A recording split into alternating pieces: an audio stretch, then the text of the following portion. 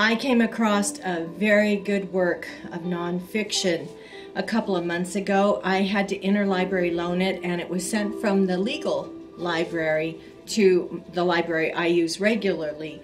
The title of the book was Messengers of the Right, and it was written by Nicole uh, Hemmer her how it opens up and how the the book came about to be is I think her father picked her up uh, from the airport or something and he had his beloved talk radio on. It may have been Rush Limbaugh and so that set the tone for this book.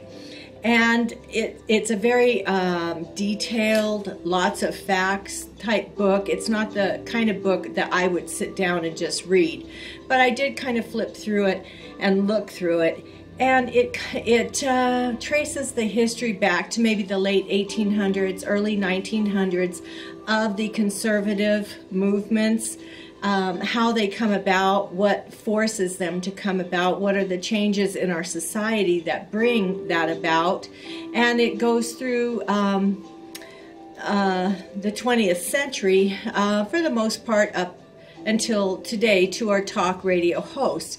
You know, our talk radio hosts today had precursors uh, talk radio hosts. They are not the inventors of it by any means.